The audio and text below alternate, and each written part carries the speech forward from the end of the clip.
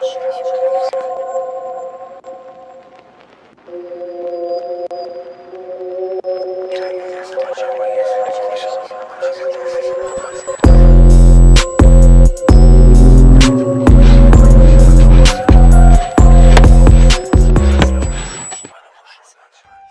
Happy Spooktember. Hey guys, Alex here, back again with another scary video. In this video, we are going to be talking about something very scary, sleep paralysis. Now, if you may or may not know by now, for these videos, I like to wear a shirt that corresponds to the video topic. And for this topic, I am wearing um, this shirt with the Pokemon. It's Haunter, it's a shadow type Pokemon, and he's, uh, he's looking a bit scary, isn't he? Yeah, very spooky. But anyway, guys, let's get into today's video.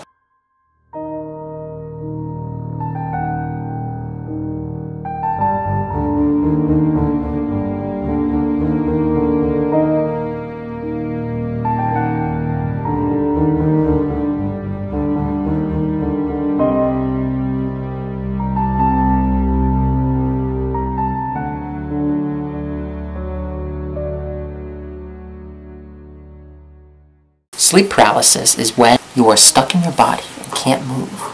You are in the state in between awake and sleep. It is commonly caused by a bad sleep schedule or any sleep conditions. Now, personally, I haven't experienced sleep paralysis myself. My sleep schedule is very bad, so I wouldn't be surprised if I did get sleep paralysis. People who have had sleep paralysis see a dark, shadowy figure on the foot of their bed and or in the corner of their room. Here are some things that you can experience while in sleep paralysis. The Hat Man is a figure that is associated with sleep paralysis. It is a dark figure that stares at you at the corner of the room. And I can do a whole separate video talking about the Hat Man and other entities associated with sleep paralysis.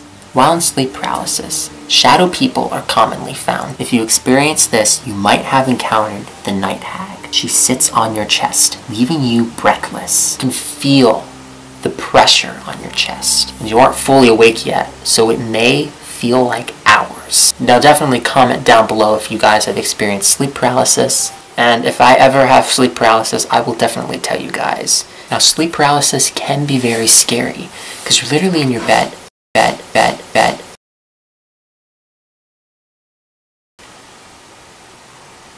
That was mittens, I think.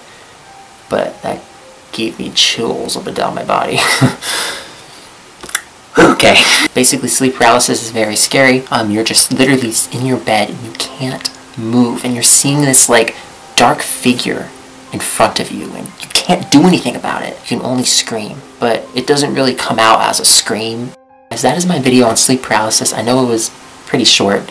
If you like this video, then consider leaving a like and subscribing for more Spooktember. And yeah, um, I've been Alex LaBaw, and I'll see you guys in the next video. Sweet dreams.